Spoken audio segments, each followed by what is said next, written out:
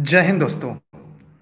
आज निःशुल्क क्लास शिक्षक भर्ती लिखित परीक्षा के विविध के पाठ्यक्रम में एक और अगला अध्याय लेकर आए हैं। अगर आप भविष्य में सरकारी शिक्षक बनने का सपना सजोए हैं, जूनियर प्राइमरी दोनों के लिए एक 50 नंबर में 30 नंबर की विविध, फिर 10 नंबर का सामान्य अध्ययन 10 नंबर विज्ञान की इन महत्वपूर्ण सीरीज़ आपके लिए प्रतिदिन रात साढ़े नौ बजे ई लर्निंग विद दुर्गेश पर मैं दुर्गेश सर निःशुल्क आपके लिए लाइव लेकर आता हूँ, जहाँ पर आप इस सीज़न को पढ़ने के साथ साथ इसे नोट डाउन करेंगे तो आपका परीक्षा में खूबहू प्रश्न यहाँ से बनेंगे। जो ये टॉपिक हम लोग पढ़ रहे हैं, यहाँ से प्राय चार से पाँच प्रश्न आपके परीक्षा में आएँगे। तो चलिए, बिना देरी के अब हम क्लास की शुरुआत करते हैं। अगर आपको सरकारी शिक्षक बनना है तो इस वीडियो के अंत तक बने रहिएगा। कॉपी कलम लेकर साथ में नोट करते चलेगा, क्योंकि इस क्लास के बाद देखेंगे, आपके पास एक विविध की एक जीएस की, एक साइंस की बेहतर नोट्स होगी, जो आपको सिलेक्शन के और नज़दीक लेकर चलेगी। पहला प्रश्न आपके डिस्प्ले पे दिख रहा है फॉसिल ईंधन के जलने से क्या उत्पन्न होता है? जो लोग इस वीडियो को लाइव देख रहे हैं, सभी साथी फटाफट कमेंट करेंगे। कमेंट करके दिए गए प्रश्न का लाइव जवाब देंगे। सभी साथी फटाफट कमेंट करिए। जो भी इस वीडियो को लाइव देख रहे हैं, सभी साथी फटाफट कमेंट करें। सभी साथी फटाफट कमेंट कर, बताएँ। फॉसिल ईंधन के जलने से मृदा प्रदूषण नहीं होगा। जल प्रदूषण नहीं होगा, वायु प्रदूषण होगा, ये आपको एकदम आसान प्रश्न है। जैसे अगर कोयला जला रहे हैं हम, प्राकृतिक गैस जला रहे हैं, पेट्रोल जला रहे हैं, डीजल जला रहे हैं तो यहाँ पर जो जलेगा, उससे कौन सा प्रदूषण होगा? उससे एकमात्र जो प्रदूषण होगा, उसका नाम है वायु प्रदूषण। इसलिए इस प्रश्न का, पहले प्रश्न का विकल्प सी राइट आंसर है। जिन साथियों ने इस प्रश्न का उत्तर सी दिया है, उन सभी के जवाब सही हैं और हम एक एक कर कर आगे बढ़ते हैं। ठीक है, अगले प्रश्न की तरफ़ चलते हैं, चाहे तो आप इस प्रश्न की स्क्रीनशॉट अपने पास सुरक्षित रख सकते हैं। अगला प्रश्न है ग्रीन हाउस प्रभाव पृथ्वी के वायुमंडल को गर्म होना है, इसका क्या कारण है? एकदम आसान प्रश्न, ये पर्यावरण के अध्ययन का प्रश्न है, ये आपके सामान्य अध्ययन का प्रश्न है, ये आपके विविध की सीरीज़ में है। अगर आपको सिलेक्शन लेना है, अगर आपको सरकारी नौकरी करनी है, ऐसे प्रश्न का जवाब आपको ज़रूर देना होगा, खासकर शिक्षक भर्ती के लिए रामबाण है। ग्रीन हाउस प्रभाव पृथ्वी के वायुमंडल का गर्म होना क्या कारण है?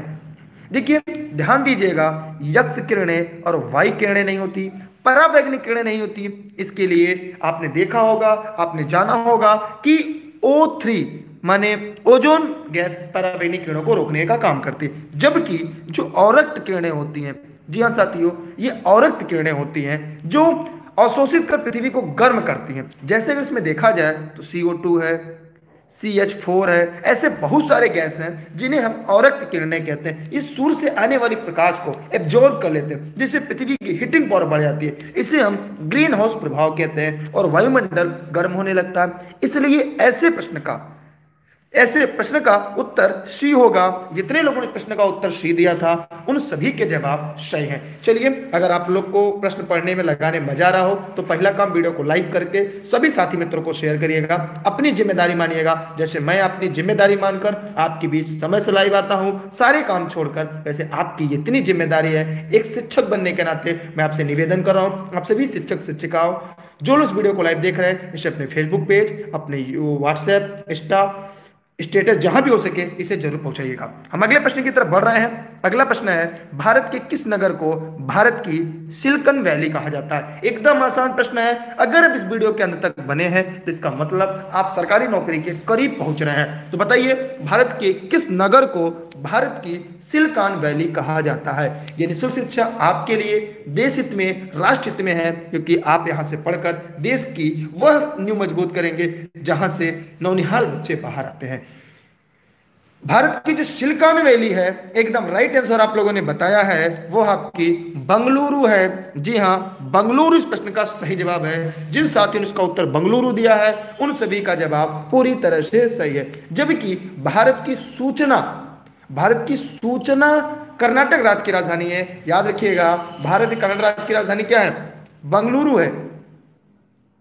इसे भारत की सूचना प्रौद्योगिकी की राजधानी भी कहते हैं। सॉफ्टवेयर, कंप्यूटर संबंधित अनेक प्रतिष्ठान कंपनियाँ इस बंगलुरु में है। इसलिए इसे भारत की सिलिकॉन वैली के नाम से जाना जाता है। बहुत बहुत धन्यवाद संदीप जी।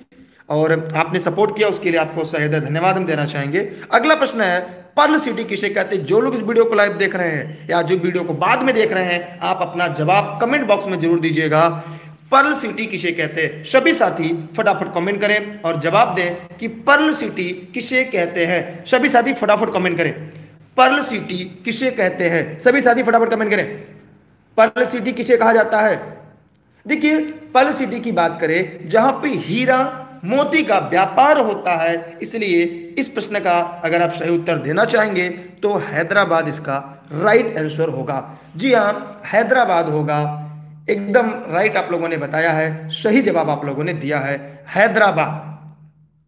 ठीक, हम आगे बढ़ रहे हैं, अगले प्रश्न की तरफ़। जी हाँ विविध की महाभारत सीरीज़ में आप सभी का स्वागत है। ईटों के निर्माण के लिए कौन सी मिट्टी का प्रयोग किया जाता है? एकदम आसान सा प्रश्न है यूनिक प्रश्न है जो प्राय परीक्षा में पूछा जाता है। मैं उम्मीद करता हूँ कि जितने लोग इस वीडियो को लाइव देख रहे हैं, वे सभी इस प्रश्न का जवाब देंगे। जो ईंट बनती है वह किस मृदा से बनती है? यह उपजाऊ नहीं होती। तो ध्यान दीजिएगा, लाल पीली उपजाऊ होती है, लमड़ी उपजाऊ होती है पिट में कार्बनिक उपजाऊ होती है, लेकिन लेटेराइट मिट्टी उपजाऊ नहीं होती इसलिए इसका प्रयोग ईट बनाने में किया जाता है। इसलिए इस प्रश्न का उत्तर क्या होगा? सीस का राइट आंसर होगा। इसमें खाद उर्वरक की ज़्यादा मात्रा डालनी पड़ती है। इसलिए मृदाओं में इस प्रकार की मिट्टी से लेटराइट से प्राय ईंट का निर्माण किया जाता है। ऐसे प्रश्न को आपको बार बार समझना पड़ेगा। सरकारी शिक्षक बनना है, गवर्नमेंट नौकरी करनी है तो आपको इन सभी तथ्यों को कॉपी में लिखते चलना पड़ेगा। मैं आगे बढ़ रहा हूँ, अगले प्रश्न की तरफ़। देखिए सीमेंट बालू और पानी के गाढ़े घोल को क्या कहते हैं? फटाफट कमेंट करिए। आपके पास 10 सेकंड का समय है। आपको देखना है, सबसे पहला जवाब किसका आता है? 10 सेकंड आपके पास है। सीमेंट बालू और पानी के गाढ़े घोल को क्या कहते हैं? सभी साथी कमेंट करके बताएँ। जो लोग वीडियो को लाइव देख रहे हैं, भट्टा किसे कहते हैं? आरसीसी किसे कहते हैं, कंक्रीट किसे कहते हैं? और इस प्रश्न का उत्तर एकदम आसान है, ये गारा या मसाला के नाम से जानते हैं। कंक्रीट क्या होता है? छतों पर रखे जाते हैं। आरसीसी की ढलाई होती है गारा से। भट्टा क्या होता है? जहाँ ईट बनता है। इसलिए इस प्रश्न का जो उत्तर होगा, वह सीस का राइट आंसर होगा। सी प्रश्न का सही जवाब होगा। एकदम सिलेक्शन वाली क्लास है। शिक्षक बनने के लिए, सरकारी शिक्षक बनने के लिए ये क्लास आपके रामबाण का काम करती है। हम आगे बढ़ रहे हैं, अगले प्रश्न की तरफ़। आप लोग धैर्य रखे रहिएगा कॉपी कलम से लिखते चलिएगा, एक बेहतर नोट्स तैयार होगी क्लास के अंत में। अगला प्रश्न है आपका ब्राउन पेपर किसे कहते हैं? बहुत ही यूनिक प्रश्न है, सभी साथी फटाफट कमेंट करें। जो लोग इस वीडियो को लाइव देख रहे हैं, प्रतिदिन साढ़े नौ बजे अलार्म लगा लें। अगर आपको सरकारी शिक्षक बनना है तो और इसकी लिंक आपको टेलीग्राम पे मिलेगी, जहाँ पे दुर्गेश सर सर्च करके e learning with Durgesh. Facebook insta Twitter learning with Durgesh सभी साथी फटाफट कमेंट करें। निःशुल्क क्लास आपके लिए है। ब्राउन पेपर कहा जाता है। सभी साथी फटाफट कमेंट करें। जो लोग वीडियो को लाइव देख रहे हैं, सभी साथी फटाफट कमेंट करें। ब्राउन पेपर किसे कहते हैं? जी हाँ एकदम राइट आंसर है कि ब्राउन पेपर जूट को कहा जाता है। जूट इसका राइट आंसर होगा। ठीक? और ये नगदी फ़सल के अंतर्गत भी आता है। नगदी फ़सल, कपास, जूट, गन्ना, सभी है लगभग यहाँ पे। इस प्रश्न का उत्तर क्या होगा? जूट, इसका राइट आंसर होगा। हम आगे बढ़ रहे हैं अगले प्रश्न की तरफ़। जी हाँ साथियों नीली क्रांति का संबंध किससे है? एकदम आसान प्रश्न है। सभी साथी कमेंट करके बताएँगे कि नीली क्रांति का संबंध किससे है। जो लोग इस वीडियो को लाइव देख रहे हैं, सभी साथी फटाफट कमेंट करें। ये देखना है कितने लोग ऐसे हैं जो सरकारी शिक्षक और शिक्षिका बनने के लिए तैयार है। कितने लोग हैं जो अपना बेहतर देने के लिए तत्पर है। फटाफट कमेंट करिएगा।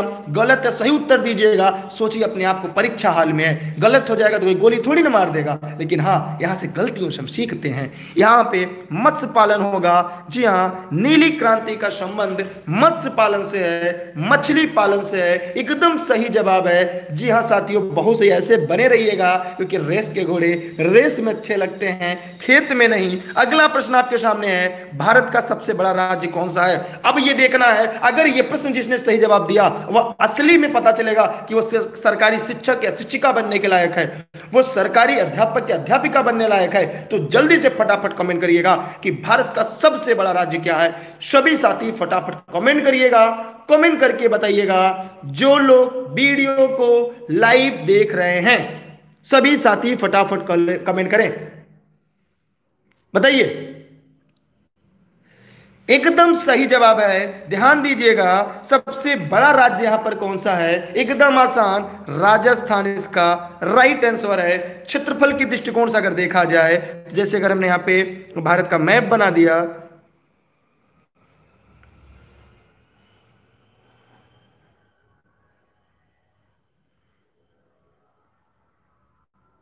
ठीक है माना ये हमारा भारत का मैप है। यहाँ पे सबसे बड़ा अगर क्षेत्रफल की हम बात करते हैं तो जी हाँ ये क्षेत्र का जो ये बेल्ट है इसे राजस्थान के नाम से जानते हैं। यह सबसे ज़्यादा पूरे भारत में सबसे पहला स्थान है। और पहले पे आ, देखा जाए तो पहले पे राजस्थान है।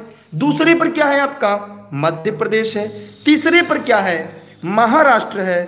चौथे पर उत्तर प्रदेश है। यह भी पूछ सकता है। कि उत्तर प्रदेश क्षेत्रफल के दृष्टिकोण से चौथे नंबर पर है। एकदम रट्टा मार लीजिएगा, एकदम रट लीजिए, क्योंकि आपको सिलेक्शन लेना है, आपको सरकारी नौकरी करनी है, इसलिए कोई भी प्रश्न पूछा जा सकता है। अगला प्रश्न हम बढ़ते हैं, अगले प्रश्न की तरफ़। किसे दक्षिण भारत का मैनचेस्टर कहते हैं? जी हाँ ये फेसबुक पे लेनी पे दुर्गेश लाइव चल रहा है यूट्यूब पे लेनी पे दुर्गेश लाइव चल रहा है। तो फटाफट कमेंट करिएगा कि दक्षिण भारत का मैनचेस्टर किसे कहते हैं और उत्तर भारत का किसे कहते हैं? सभी साथी फटाफट कमेंट करके बताएँगे। उत्तर भारत का मैनचेस्टर किसे कहते हैं? दक्षिण भारत का मैनचेस्टर किसे कहते हैं? सभी साथी, अगर आपको सरकारी नौकरी करनी है सिलेक्शन लेना है तो गलत या सही जवाब देना सीखिए, क्योंकि गलतियों से ही मनुष्य सीखता है और जिस समय परीक्षा हाल में होंगे, वहाँ पर एक गलती नहीं करना है। सारी गलती आपको मेरी क्लास में कर लेना है और सभी गलतियों को सुधार लेना है। एकदम सही जवाब आ रहा है। कोयम्बटूर जी हाँ दक्षिण भारत का मैनचेस्टर कोयम्बटूर को कहा जाता है। एकदम राइट है। ये तमिलनाडु के दूसरे सबसे बड़े औद्योगिक शहर कोयम्बटूर को दक्षिण भारत का मैनचेस्टर कहा जाता है। कोयम्बटूर कहाँ पे अगर हम यहाँ पे दक्षिण भारत का मैप बना दें तो यहाँ पर तो यहाँ पर आपका है, मानी ये तमिलनाडु है। और ये तमिलनाडु में आपका क्या है? कोयम्बटूर है। इसलिए बात जानते रहिएगा कि मैप में अगर आपको बताना हो तो आप आसानी से बता लेंगे। हम आगे बढ़ रहे अगले प्रश्न की तरफ़। अगला प्रश्न आपके सामने है। निम्नलिखित में से कहाँ स्तूप नहीं है? एकदम हलुआ प्रश्न। आजकल ये प्रश्न काफ़ी ट्रेंडिंग है, नहीं वाले प्रश्न। ठीक है? सभी साथी फटाफट कमेंट करें। कमेंट करके जवाब दे। देखिए, अगर आपने इस वीडियो में जुड़े हैं तो वीडियो को लाइक करिएगा। अगर आप अपने आप एक शिक्षक मानते हैं तो मुझे एक काम करिएगा, वीडियो को लाइक करने के बाद अपने सभी साथी मित्रों को शेयर करिएगा। लाइक करने से पैसा नहीं कटेगा मोटिवेशन मिलता है। यार, हम मेहनत करके पढ़ा रहे हैं तो आपकी संख्या कितनी बेहतर हो रही है? ये क्लास आपकी है, मैं आप सभी शिक्षकों के लिए समर्पित करता हूँ। मैं स्वयं शिक्षक हूँ, गौर, सरकारी शिक्षक हो गया हूँ, आप सबके माता पिता के आशीर्वाद से निःशुल्क क्लास मैं आपके लिए दे रहा हूँ। लेकिन एक उम्मीद है, लोगों तक पहुँचाइए। ध्यान से देखिएगा इस प्रश्न को, यहाँ पर सांची में स्तूप है, धमेक में स्तूप है, ठीक? और भरतों में, रांची में कोई भी स्तूप नहीं है, इसलिए जो गलत है, वही सही है। इस प्रश्न का उत्तर डी आपका राइट आंसर होगा। जी हाँ डी आपका राइट आंसर होगा। देखिए, मैं अपनी क्लास निःशुल्क देता हूँ, लेकिन बाकी टीचर के पेट है, उनके माँ बाप है, उनके बच्चे हैं, उनका परिवार है, उनका खर्च कहाँ से चलेगा? इसलिए जब उनकी क्लास जुड़ेंगे तो उन सबको भी आप मदद कर पाते हैं। हम आगे बढ़े अगले प्रश्न की तरफ़। अगला प्रश्न आपके बीच है, निम्नलिखित में से भारत की श्रिम राजधानी क्या है? सबसे पहला जवाब किसका आता है? आज हमें यह देखना है कि कौन इस प्रश्न का जवाब सही से दे पाता है। लोग निम्न में से भारत की श्रिम्प राजधानी कहाँ है? क्या गजब का प्रश्न है? विविध का। आज ये प्रश्न का उत्तर आपको बताना है और कितने लोग नहीं बता पाते? इसकी स्क्रीनशॉट अपने व्हाट्सएप पे लगाइएगा और ये देखना है आपको कि कितने ऐसे लोग हैं जो इस प्रश्न को बता पाते हैं, कितने ऐसे लोग हैं जिसका जवाब नहीं दे पाते। देखिए, जितने लोग इस वीडियो को लाइव देख रहे हैं, पहला काम लाइक करने के बाद अगर शेयर कर देंगे तो आपके मित्र के पास, आपके परिवार के लोगों के पास जाएगा, वो लोग भी पढ़ेंगे और वो भी सिलेक्शन के नज़दीक पहुँचेंगे। कर भला तो हो भला। मैं सभी, मैं अपना काम छोड़कर मैं आपकी क्लास अटेंड करता हूँ। मैं कभी नहीं चाहता आपकी क्लास कोई भी छूटे। तो आपसे बस इतना निवेदन है कि आप अपना बेहतर दे वीडियो को सभी साथी मित्रों तक पहुँचाएँ। धन्यवाद। देखिए, इस प्रश्न का उत्तर होगा नेल्लूर। जी हाँ नेल्लूर इस प्रश्न का सही जवाब होगा। एकदम रट लीजिएगा। नेल्लूर है, नेल्लूर कहाँ पर है? यह झींगा। जी हाँ झींगा मछली के लिए आंध्र प्रदेश में प्रसिद्ध है। इसे भारत की श्रिम्प राजधानी कहा जाता है। ये कहाँ पर है? ये आंध्र प्रदेश में है। ध्यान से लिख लीजिएगा, ये आंध्र प्रदेश में है। किसके लिए प्रसिद्ध है? झींगा के लिए। किसके लिए? झींगा के लिए प्रसिद्ध है। और झींगा को अंग्रेज़ी में क्या कहते हैं? लिख लीजिएगा, श्रिप कहते हैं। इसे अंग्रेज़ी में श्रिम्स कहते हैं। इसलिए झींगा की राजधानी भारत में कहाँ है? अगर आप लोगों ने ध्यान से पढ़ा कि भारत में झींगा की राजधानी कहाँ पर है? झींगा की राजधानी तो भारत की झींगा की राजधानी नेल्लूर में है। रट्टा मार लीजिएगा, ऐसे प्रश्न कभी जीवन में गलत मत करिएगा, क्योंकि मैंने बताया कि सभी साथी जो लोग इस वीडियो को लाइव देख रहे हैं, वो यहाँ पर गलती कर सकते हैं। परीक्षा हाल में गलती मत करिएगा। मैं आप सभी से एक गुरु दक्षिणा के रूप में मैं आपका सिलेक्शन चाहता हूँ। मैं चाहता हूँ ठीक है? आप लोग, मैं चाहता हूँ कि आप सभी साथी सेलेक्ट होकर जाएँ और यही मेरी गुरु दक्षिणा होगी। हम आगे बढ़ रहे हैं। ये निःशुल्क क्लास आपके लिए है। अगला है रेड डाटा बुक उन जातियों के बारे में जानकारी देता है, जो लोग वीडियो को लाइव देख रहे हैं। फटाफट कमेंट करके बताएँ कि जो रेड डाटा बुक है, वो कैसे जातियों के बारे में जानकारी देता है। एकदम आसान प्रश्न है, सभी साथी फटाफट कमेंट करके बताएँगे। जो लोग, देखिए, एक प्रश्न आता है रेड डाटा बुक कौन जारी करता है? तो याद रखिएगा red data book I C I U C N I U C N ये रेड डाटा बुक का प्रकाशन करता है। International Union for the Conservation of Nature and Natural Resources ये विश्व की सभी संकट प्राय जातियों के क्या करती है?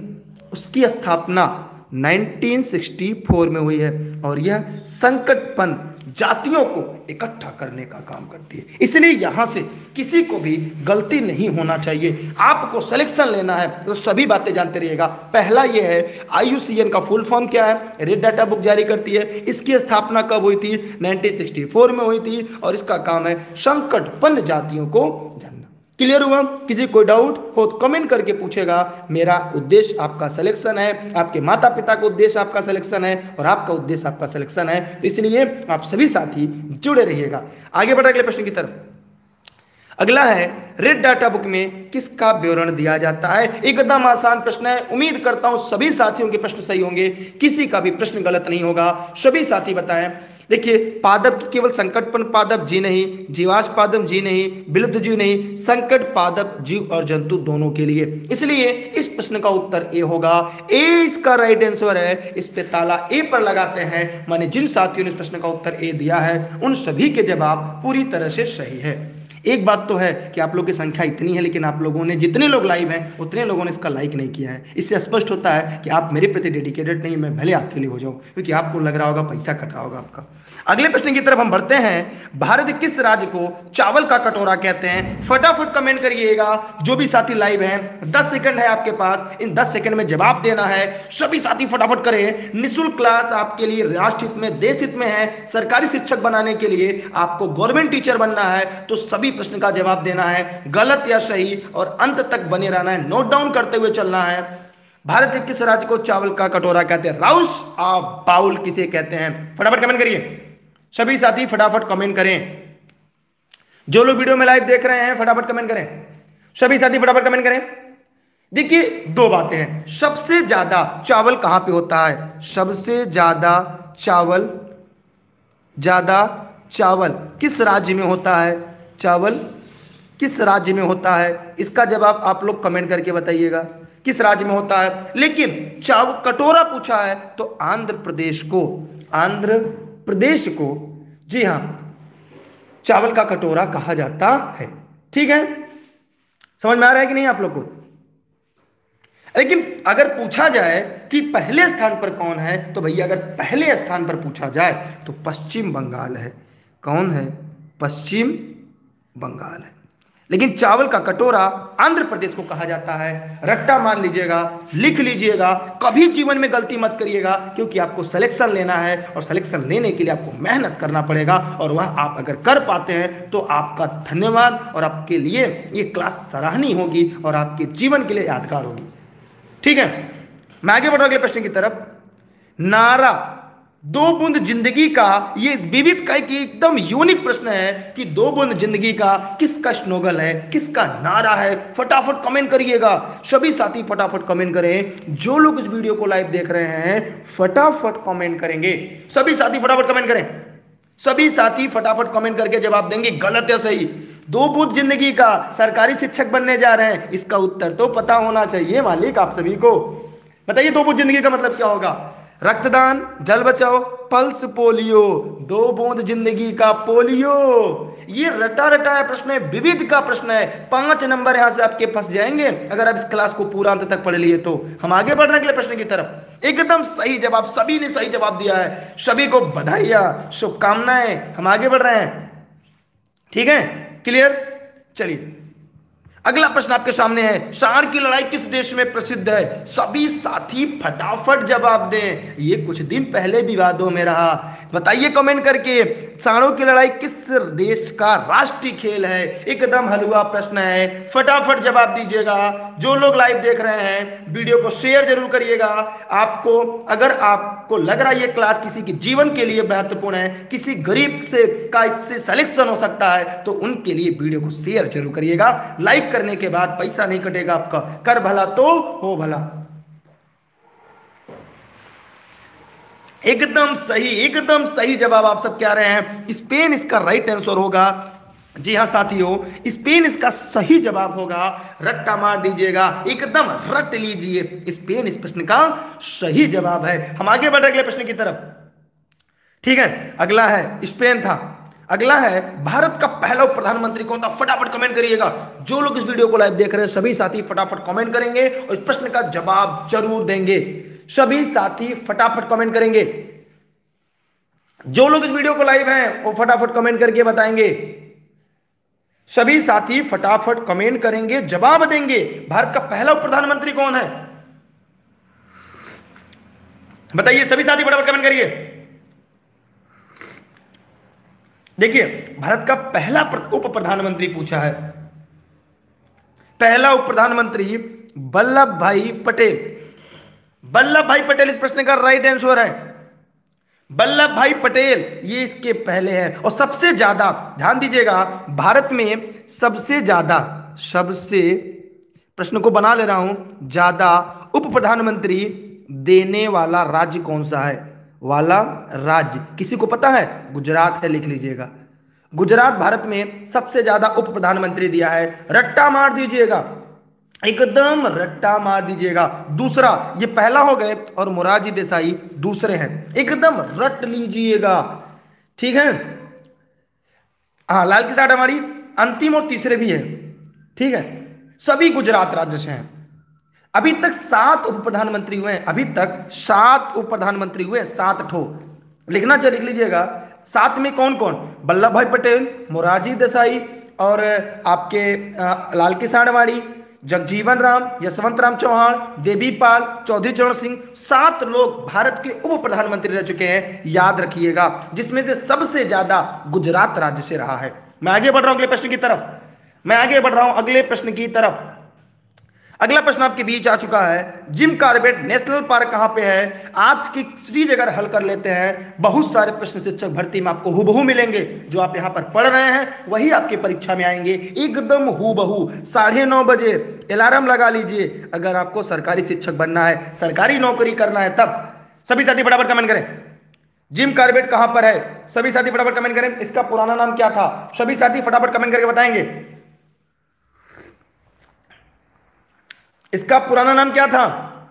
ये भैया उत्तराखंड राज्य में है। इसका पुराना नाम क्या था? ये उत्तराखंड है। ये 1936 में 1936 में इसकी स्थापना हुई थी। इसका पुराना नाम क्या है? कमेंट करके बताइएगा। जो लोग लाइव देख रहे हैं वीडियो को, भैया सिलेक्शन लेना है। मैं आगे बढ़ रहा हूँ अगले प्रश्न की तरफ़। जी हाँ national Hailey park is right answer बहुत सही, लगे रहो मित्रों, लगे रहो नौकरी तो आपके कदमों में आएगी। ऐसे ही लगे रहो शेरो। नौकरी आपको ज़रूर मिलेगी। जी हाँ जितने भी अध्यापक, अध्यापिका इस वीडियो को देख रहे हैं, उनको शुभकामनाएँ पहले। निम्न में से कौन सा राष्ट्रीय उद्यान है? राजस्थान में नहीं है। इसमें गलत कथन छाटना है। फटाफट कमेंट करिएगा। सभी साथी, फटाफट कमेंट करिएगा। जो लोग वीडियो को लाइव देख रहे हैं, फटाफट कमेंट करिएगा। जितने भी अध्यापक, अध्यापिका इस वीडियो को देख रहे हैं बताइए, कौन सा राष्ट्रीय उद्यान राजस्थान में नहीं है?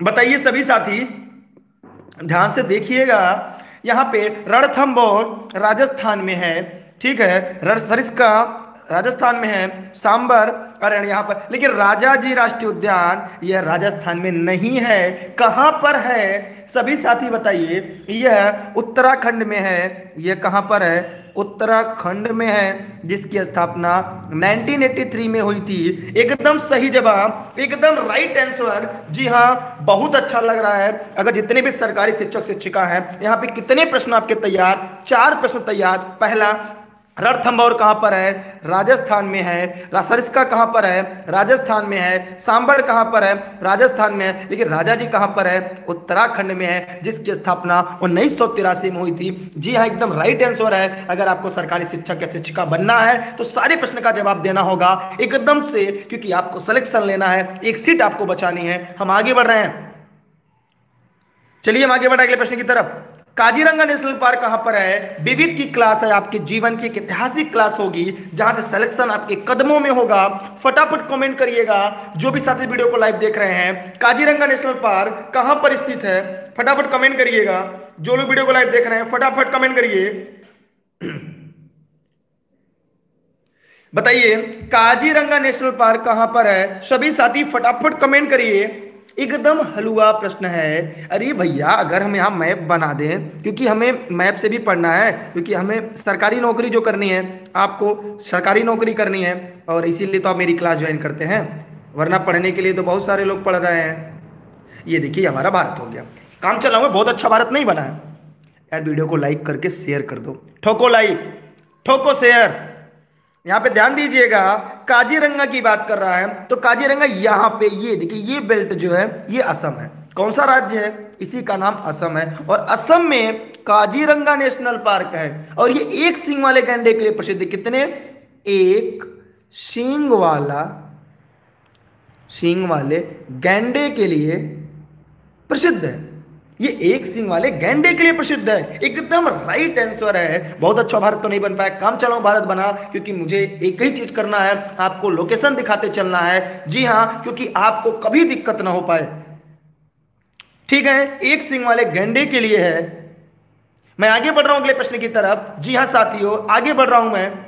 स्क्रीनशॉट चाहे तो कर सकते हैं। अगला प्रश्न आपके सामने डिस्प्ले पर है। पृथ्वी पर सबसे लंबा टिकने वाला वृक्ष कौन सा है? ये विविध चल रहा है। एकदम राइट आंसर आपको देना है। ये विविध का प्रश्न है। जी हाँ साथियों। सभी साथी फटाफट कमेंट कर जवाब दें। जो लोग इस वीडियो को लाइव देख रहे हैं, सभी साथी जवाब दें। जी हाँ देखिए ऑनलाइन जुड़ने के लिए आप सब six three zero six three double four three six seven पर करके जुड़ सकते हैं। ये जौनपुर जनपद से चलती है। प्रतिदिन निःशुल्क साढ़े नौ बजे। एकदम अपने मित्र को बता दीजिए सिलेक्शन लेना हो। विविध के बाद अगली सीरीज़ शुरू होगी। पृथ्वी पर सबसे लंबे समय तक टिकने वाला वृक्ष कौन सा है? कमेंट करिए फटाफट कमेंट करिए जल्दी जल्दी यार, इतना सरल प्रश्न आप लोग नहीं जवाब देते।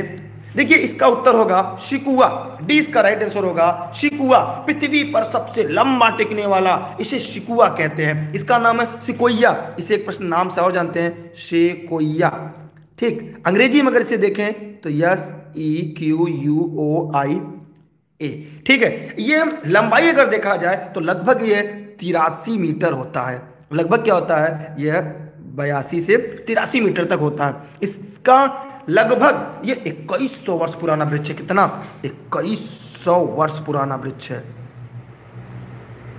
इक्कीस सौ साल पुराना वृक्ष है। इसलिए इस प्रश्न को सिकोया भी आ जाता है सिकुआ आ जाता है तो कहीं गलती ना हो जाने पाए। इसलिए आप लोग इस प्रश्न को जानते रहिएगा एकदम। ठीक है, ध्यान दीजिएगा, जो लोग इस वीडियो को लाइव देख रहे हैं, सभी साथी इसको नोट डाउन कर लेंगे। सिलेक्शन लेना है तो बाकी आपकी इच्छा। हम आगे बढ़े अगले प्रश्न की तरफ़। यार प्रश्न का ट्रेंड बदल रहा है। अब कठिनाई का स्तर बढ़ाया जा रहा है। हम आगे बढ़ अगले प्रश्न की तरफ़।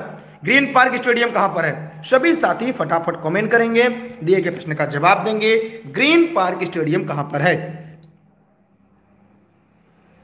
सभी साथी फटाफट कमेंट करें। ग्रीन पार्क स्टेडियम कहाँ पर है? सभी साथी फटाफट कमेंट करेंगे और जवाब देंगे। एकदम राइट आंसर है। जी हाँ एकदम सही जवाब देना है। ग्रीन पार्क, ये भैया अगर शिक्षक भर्ती की तैयारी कर रहे हैं, उत्तर प्रदेश में, उत्तर प्रदेश प्राइमरी जूनियर शिक्षक बनना है, सरकारी शिक्षिका बनना है आपको तो याद रखिएगा, ये उत्तर प्रदेश के कानपुर में है। ये कहाँ पर है? ये उत्तर प्रदेश के कानपुर में है। एकदम से समझ लीजिएगा।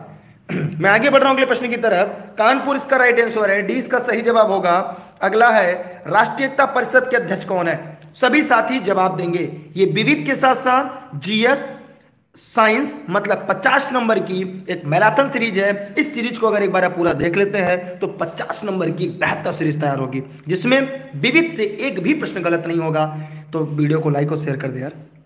लाइक ठोक के शेयर कर दीजिए। जितने लोगों ने वीडियो को लाइक और शेयर किया, ईश्वर करे, वो जल्दी से सरकारी शिक्षक और शिक्षिका बने। जितने लोगों ने इस काम में अपना योगदान दिया है, ईश्वर उन्हें पहली बार में अगली बार जब भी बैठे, उनके दामन में शिक्षक और शिक्षिका का पद हो और अपने अपने विद्यालयों में जाकर अपने माता पिता का नाम रोशन करें। राष्ट्रीय एकता परिषद का अध्यक्ष, प्रधानमंत्री होता है।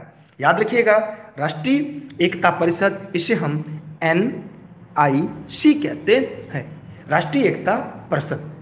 इस परिषद का गठन राष्ट्रीय एकता में समाधान किया गया था। इसकी जो पहली बैठक हुई थी, पहली बैठक पहली बैठक वो कब हुई थी पता किसी को? 1962 में हुई थी।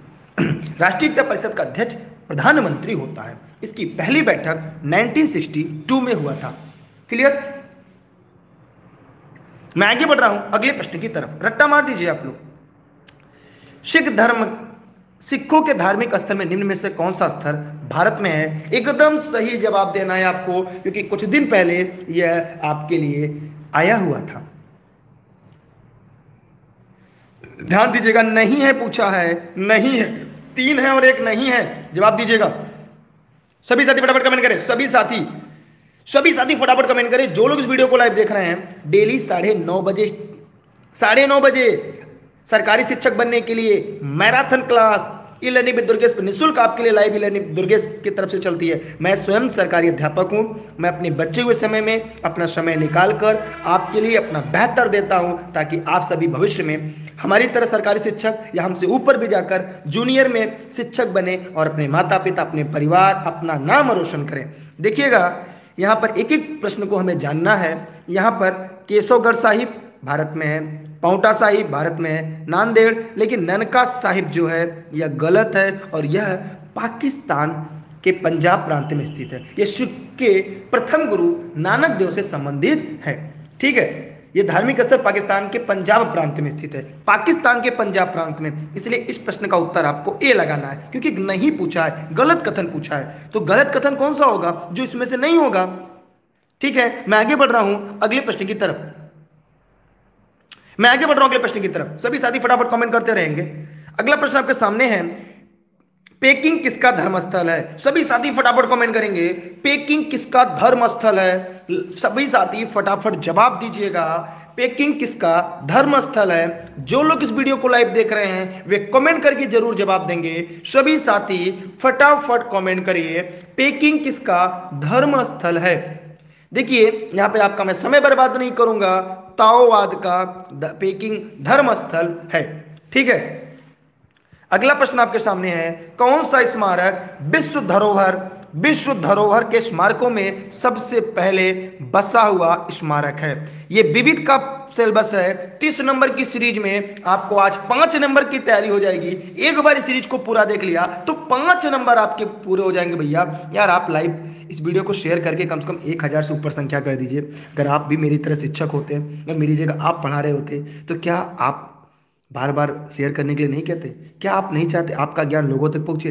क्या आप नहीं चाहते हमारी मेहनत की वजह से और लोग सेलेक्ट होकर बेशिक्षक परिवार में जाए? अगर आप ऐसा सोचते हैं तो इतना काम ज़रूर करिएगा।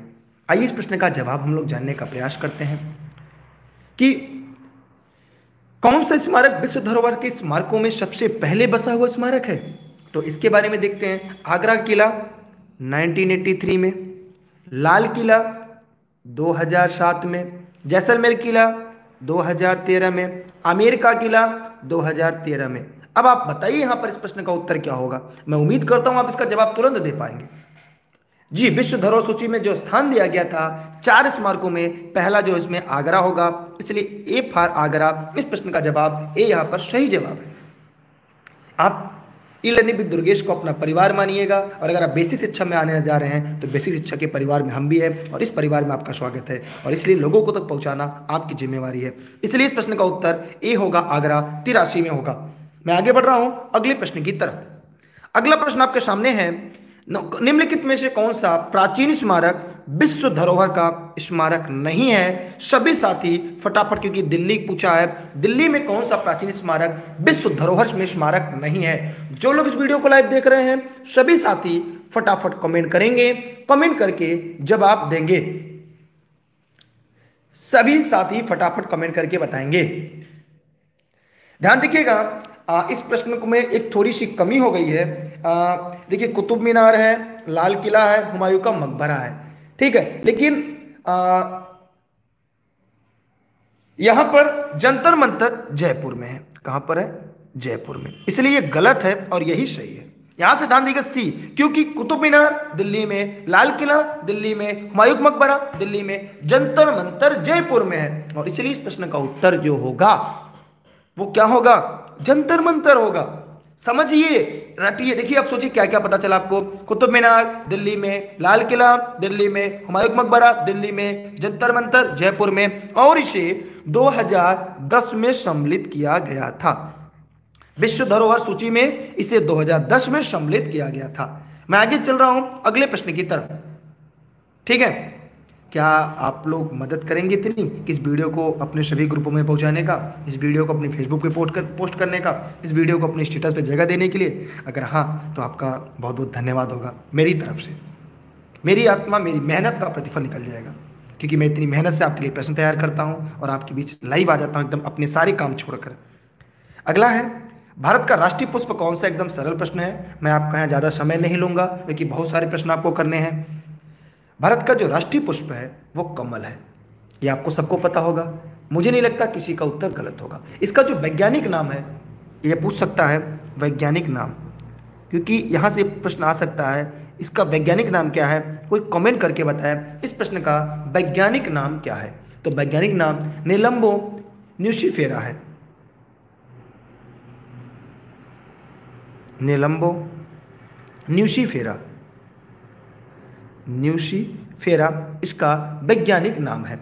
ठीक है, इसलिए इस प्रश्न का उत्तर 20 का राइट आंसर होगा। हम आगे बढ़ रहे हैं अगले प्रश्न की तरफ़। अगला प्रश्न है, भारत का राष्ट्रीय फल कौन सा है? तो मैं चाहूँगा इस प्रश्न का जवाब फटाक से दीजिए, मैं आगे बढ़ू। एकदम सरल है मतलब मैं आपका समय बर्बाद नहीं करना चाहूँगा। राष्ट्रीय फल क्या है? आम है। एकदम हलवा वाला प्रश्न है। आइए, आप शिक्षक बनने जा रहे हैं, गवर्नमेंट शिक्षक बनने की तैयारी कर रहे हैं। गवर्नमेंट शिक्षिका बनने की तैयारी कर रही हैं। तो इसका मतलब है कि आपको ये पता होगा। आगे बढ़ रहे हैं। दक्षिण भारत की सबसे प्राचीन भाषा कौन है? सभी साथी फटाफट कमेंट करेंगे। क्लास खत्म होने के बाद इसकी लिंक आपको टेलीग्राम पे मिल जाएगी। तुर्गेश सर सर्च करके सभी टेलीग्राम ज्वाइन कर लेंगे। जिनको डेली क्लास पढ़नी है सिलेक्शन लेना है, दक्षिण भारत की सबसे प्राचीन भाषा कौन सी है? ये निःशुल्क क्लास आपको प्रतिदिन साढ़े नौ बजे ई लर्निंग विद दुर्गेश पर लाइव चलती है। सभी साथी फटाफट कमेंट करेंगे। कमेंट करके जवाब देंगे। सभी साथी फटाफट कमेंट करें कि दक्षिण भारत की सबसे प्राचीन भाषा कौन सी है? फटाफट कमेंट करिए। आज आपको 500 के ऊपर पहुंचाना संख्या। आज आप 500 के ऊपर संख्या पहुँचा सकते हैं। थोड़ी सी मदद करिए। इस क्लास में और मज़ा आएगा। साढ़े जी हाँ नौ बजे लाइव आइए सभी साथी। दक्षिण भारत की सबसे प्राचीन भाषा कौन सी है? देखिए, दक्षिण भारत की अगर सबसे प्राचीन भाषा की बात की जाए तो भैया आप लोग कमेंट करके बताइए, वरना हम तो इस प्रश्न को बताएँगे देखिए, दक्षिण भारत की सबसे प्राचीन भाषा तमिल है। कौन सी है? तमिल है। तमिल जो है, ये द्रविड़ परिवार का एक प्राचीनतम भाषा मानी जाती है। याद रखिएगा, किस परिवार का? तमिल जो है, द्रविड़ परिवार का। द्रविड़ परिवार का। द्रविड़ परिवार का सबसे प्राचीनतम भाषा मानी जाती है। और ये कहा जाता है कि यह तीन हज़ार ईसा पूर्व यह तीन हज़ार ईसा पूर्व से भी पुराना है। तीसरी शताब्दी ईसा पूर्व के आसपास इसके शिलालोक के भाषा प्राप्त हुए इसलिए इस प्रश्न का उत्तर बी होगा। सोचिए, अगर पूछ लिया जाए, तमिल किस परिवार का है तो द्रविड़ परिवार का है। ये तीन हज़ार ईसा पूर्व बोली जा रही है। ठीक है, इसलिए इस प्रश्न का उत्तर क्या होगा? क्या होगा आपका? तमिल इसका राइट आंसर होगा। मैं आगे बढ़ रहा हूँ। अगले प्रश्न की तरफ़ आप लोग जुड़े रहिए, कॉपी कलम बनाकर लिखते चलिएगा। क्लियर किसी को? कोई डाउट कोई समस्या हो तो ज़रूर पूछ सकते हैं। अगला प्रश्न आपके बीच है। स्कूलों के नामों में से कौन सा जवाहरलाल नेहरू के साथ जुड़ा है? अभी आपने देखा होगा कुछ दिन पहले, जेन्नू को लेकर एक बड़ा विवाद चल रहा है कि जेन्नू का नाम बदलकर स्वामी विवेकानंद यूनिवर्सिटी किया जाए। तो इसलिए यह प्रश्न आपकी परीक्षा में पूछा जा सकता है कि जवाहरलाल नेहरू के साथ कौन सा जुड़ा हुआ है। मैं उम्मीद करता हूँ कि जितने लोग इस वीडियो को लाइव देख रहे हैं, वे सभी इस प्रश्न का जवाब ज़रूर देंगे। सभी साथी फटाफट कमेंट करेंगे। कमेंट करके दिए गए प्रश्न का जवाब देंगे। बताइए।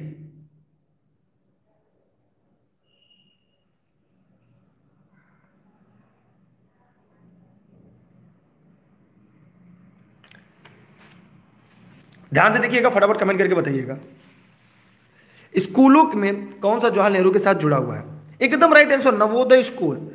Navodaya school इसका सही जवाब होगा। ये नवोदय विद्यालय का स्थापना भारत के पहले प्रधानमंत्री जवाहरलाल नेहरू के नाम पर किया गया था।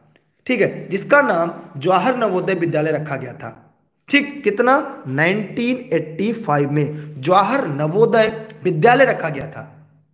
ठीक है? इसलिए प्रश्न का उत्तर क्या होगा? 20 का सही जवाब होगा। 20 प्रश्न का राइट आंसर होगा। जी हाँ साथियों, हम आगे बढ़ रहे हैं अगले प्रश्न की तरफ़। तो 1985 में भारत के प्रथम प्रधानमंत्री पंडित जवाहरलाल नेहरू के नाम पर जवाहर नवोदय विद्यालय रखा गया था। हम आगे बढ़ रहे हैं अगले प्रश्न की तरफ़। अगला प्रश्न आपके बीच है निम्नलिखित में से किसका संबंध भू विज्ञान शाखा से विविध के लिए एकदम महत्वपूर्ण प्रश्न है? अगर आप सरकारी शिक्षक या शिक्षिका बनना चाह रहे हैं, अध्यापक या अध्यापिका बनना चाह रहे हैं, ये प्रश्न आपके लिए सबसे ज़्यादा महत्वपूर्ण है। सभी साथी बराबर कमेंट करें। जो लोग वीडियो को लाइव देख रहे हैं, निम्नलिखित में से किसका संबंध भू विज्ञान शाखा से है? एकदम राइट आंसर आपको देना है। मौसम विज्ञान नहीं होगा भू विज्ञान से। मानचित्र कला नहीं होगा ब्रह्मांड विज्ञान नहीं होगा इसका मतलब जीवाश्म विज्ञान जो है इसका संबंध किससे है? भू विज्ञान से है। मतलब थोड़ा सा आपने दिमाग लगाया और आपको प्रश्न का जवाब आसानी से मिल गया। मैं आगे बढ़ रहा हूँ अगले प्रश्न की तरफ़। अगला प्रश्न आपके बीच है कि निम्नलिखित में से कौन सा राजनीतिक दल राष्ट्रीय राजनीतिक दल के रूप में मान्यता नहीं प्राप्त किया है? सभी साथी फटाफट कमेंट करें। देखिए प्रश्न में थोड़ी सी दिक्कत हो गई है। आ, मैं आपको यहाँ पे बताना चाहूँगा। ये प्रश्न गलत है, यहाँ पे सभी है। पहले छह थे, ठीक है, छह थे, लेकिन अब सात हो गए। इस प्रश्न में थोड़ी सी गलती हो गई मैं यहाँ पे थोड़ा स्पष्ट करना चाहूँगा। त्रिगमूल कांग्रेस पहले नहीं था, लेकिन ये 2016 से त्रिगमूल कांग्रेस भी हो गया। ये भी है, ये भी है, ये भी है, ये भी है। तो यहाँ पर चारों है। प्रश्न थोड़ा सा गलत है, इसलिए इसको आप लोग जानते रहिएगा। कब से? दो दिसंबर, दो सितंबर 2016 से। इनकी संख्या कितनी हो गई? सात हो गई। कितनी हो गई? सात। इसलिए प्रश्न गलत है। इसको गलत कर लीजिएगा। इस समय त्रिगमूल कांग्रेस भी है। प्रश्न को टाइप करने में थोड़ी सी गलती हो गई। त्रिगमूल कांग्रेस भी अब हो गया। सातवां अगर पूछ देगा तो त्रिगमूल कांग्रेस है। ठीक है? इसलिए प्रश्न को गलत हम लोग कर देते हैं। यहाँ पे चारों, पहले नहीं था, अब ये भी हो गया। 2016 में। अब कितने हो गए? सात हो गए। पहले कितने थे? छह थे। ठीक है? चलिए, अगला प्रश्न आपके लिए। कागज़ की खोज कहाँ की गई थी? कागज़ की खोज कहाँ की गई थी? सभी साथी फटाफट कमेंट करके बताइए। सभी साथी जो लोग वीडियो को लाइव देख रहे हैं, कागज़ की खोज कहाँ की गई थी? सभी साथी फटाफट कमेंट करें।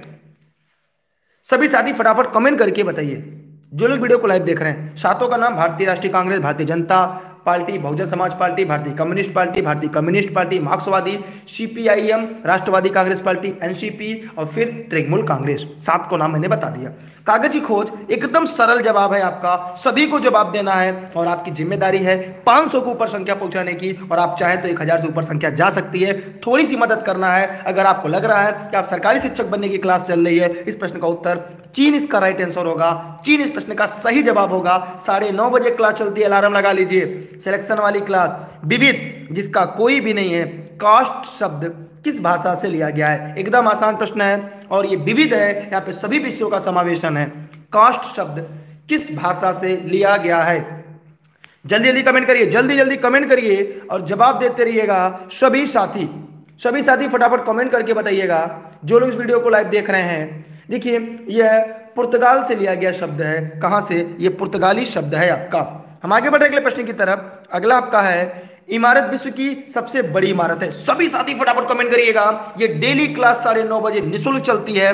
अन्य क्लास के लिए आ, आप यहाँ पे इस नंबर पर व्हाट्सएप करके जानकारी ले सकते हैं। ये ई लर्निंग में दुर्गेश का ऑफ़िस का नंबर है। नोट्स और क्लास संबंधित। ये जौनपुर जनपद से क्लास साढ़े नौ बजे ई लर्निंग विद दुर्गेश पर निःशुल्क चलती है।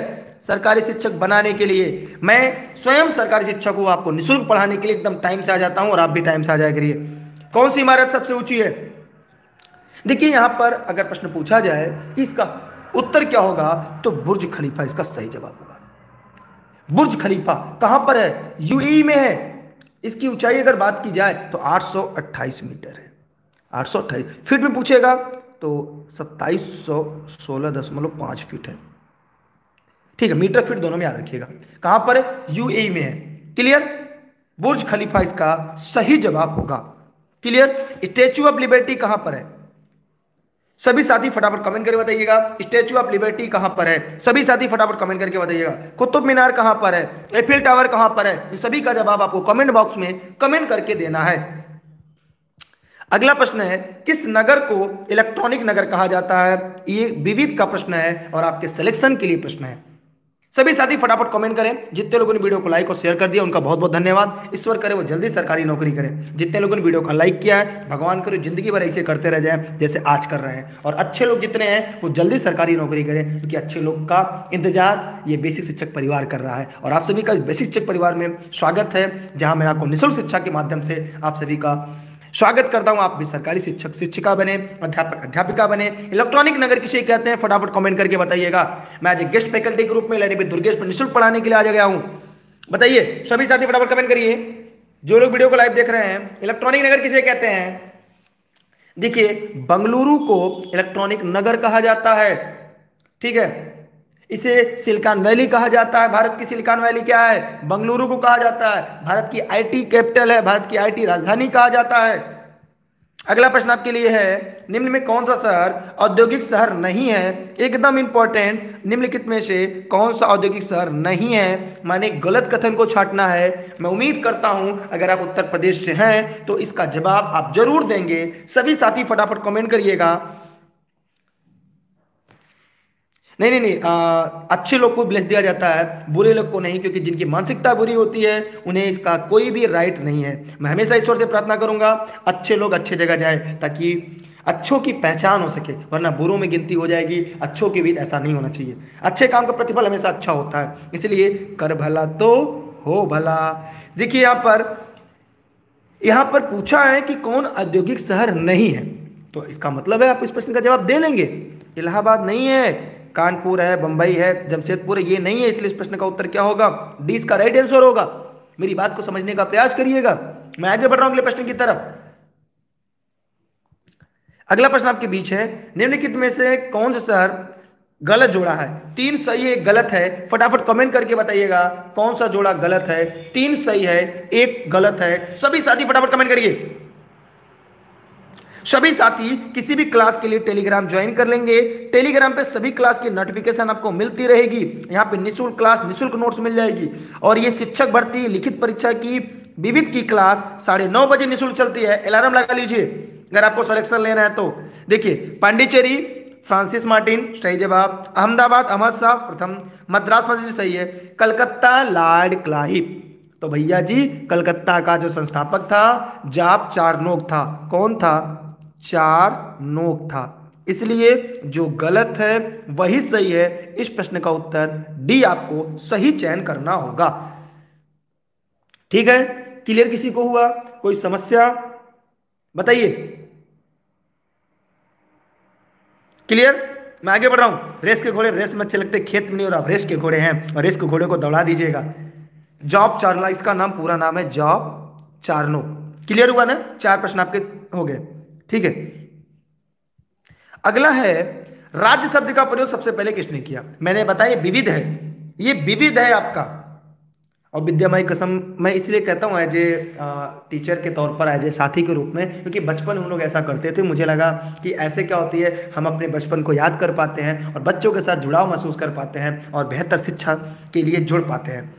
ठीक है? राज्य शब्द का प्रयोग सबसे पहले किसने किया था? तो मैं चाहूँगा आप जल्दी से जवाब दें। तो राज्य शब्द का सबसे पहले मैक्चा मैक्यावेली ने किया था। किसमें? अपनी प्रसिद्ध पुस्तक, इनकी प्रसिद्ध पुस्तक की बात की जाए किस पुस्तक में इसका ज़िक्र किया था? किसी को पता है? द प्रिंस में। द प्रिंस में इन्होंने इसका ज़िक्र किया था। याद रखिएगा, मैक्यावेली ने द प्रिंस किताब में सबसे पहले राज्य शब्द का प्रयोग किया था। यह प्रश्न याद रखिएगा, क्योंकि मैंने आपको बता दिया कि पुस्तक का नाम द प्रिंस है, जिसमें उन्होंने सबसे पहले राज्य शब्द का प्रयोग किया था। ठीक है? क्लियर हुआ कि नहीं? ठीक है? मैं आगे बढ़ रहा हूँ, अगले प्रश्न की तरफ़। देखिए, सिप्र पुलिस थाना, जो संसार में सर्वोत्तम माना जाता है, कहाँ पर है? तो याद रखिएगा, मैं आपका प्रश्न का ज़्यादा समय नहीं लूँगा। देखिए, एशिया की सर्वोत्तम पुलिस थाना चुना गया था किसे ये जयपुर में है। कब चुना गया था? तो याद रखिएगा 2009 में। कहाँ पर? सिप्रपथ पुलिस थाना, जयपुर में है। क्लियर मैं आगे बढ़ रहा अगले प्रश्न की तरफ़, मैं आपका समय नहीं लूँगा। पर्यावरण संरक्षण के लिए कौन सी अंतरराष्ट्रीय एजेंसी काम कर रही है? एकदम आसान प्रश्न है, इसको ज़रूर जवाब देना है। सभी साथी, फटाफट कमेंट करिएगा। कमेंट करके बताइए। सभी साथी फटाफट कमेंट करें। ये सिलेक्टेड क्वेश्चन है आपके लिए, जिसको मैं आपके लिए रात भर जग के सिलेक्ट करता हूँ, ताकि आप भी सरकारी शिक्षक बन सके, सरकारी नौकरी कर सकें। और, ठीक है? और सबसे बड़ी बात है, आपके माता पिता आप पर भरोसा करें और आप भी अपने माता पिता के लिए कुछ बेहतर करें। यह क्लास देश हित में, राष्ट्र हित में निःशुल्क है, ताकि आप सभी भी एक राष्ट्र के लिए एक बेहतर शिक्षक बनकर इस बेसिक परिवार में देखिए, पर्यावरण संरक्षण के लिए ध्यान दीजिएगा ग्रीन पीस है। क्या होगा? ग्रीन पीस होगा। इसके बारे में थोड़ी सी हम लोग बातें कर लेते हैं। ग्रीन पीस एक गैर सरकारी पर्यावरण संगठन है। अगर इसकी स्थापना की बात करें तो उन्नीस सौ इकहत्तर में। इसकी स्थापना उन्नीस सौ इकहत्तर में हुई थी। कहाँ हुई थी? वैंकूवर में हुई थी। लिखते चलिएगा, मैं इसे पढ़ा चुका हूँ। वैंकूवर में हुआ था। वैंकूवर कहाँ पर है? कनाडा में है। कहाँ पर है? कनाडा में है। एकदम रट्टा मार दीजिएगा। ठीक है? इसमें 40 से अधिक देशों में इनका कार्यालय है। भारत भी इसमें शामिल है। इसका मुख्यालय पूछ दिया तब। मुख्यालय। भारत इसमें सम्मिलित है याद रखिएगा। मुख्यालय कहाँ पता किसी को? एमस्टर्डम में है। कहाँ पर है? एमस्टर्डम में एमस्टर्डम कहाँ पता है? नीदरलैंड में है। नीदरलैंड की राजधानी पता है? हैग है। हेग क्या है? अंतरराष्ट्रीय न्यायालय है। हेग में क्या अंतरराष्ट्रीय न्यायालय है? क्लियर? देखिए C TET UP TET super TET के लिए आपको इस टेलीग्राम पे जुड़ना होगा। सभी क्लास की लिंक मिल जाएगी। ठीक है? सभी free class UP TET C TET super TET शिक्षक भर्ती के वी एस सभी क्लास की लिंक आपको टेलीग्राम पे मिल जाएगी। Facebook page Instagram Twitter YouTube इलरी पे दुर्गेश पर। मैं आगे बढ़ रहा हूँ अगले प्रश्न की तरफ़। क्लियर हुआ? ग्रीन पीस एक अंतरराष्ट्रीय एजेंसी है, जो पर्यावरण संरक्षण के लिए काम करती है। इसकी स्थापना उन्नीस सौ इकहत्तर में बैकवर कनाडा में किया गया था, जिसका मुख्यालय एमस्टर्डम, नीदरलैंड में है। भारत भी इसका सदस्य है। भारत इसका सदस्य है। भारत सदस्य देश है, सदस्य देश है, ये भी जानते रहिएगा। ठीक, आगे बढ़ रहा हूँ, अगले प्रश्न की तरफ़। अगला प्रश्न है, वन महोत्सव किससे संबंधित है? सभी साथी फटाफट कमेंट करेंगे, जवाब देंगे। सरकारी शिक्षक बनने के लिए एकदम महत्वपूर्ण क्लास आपके लिए लाइव आ रही है। सभी साथी फटाफट कमेंट करें।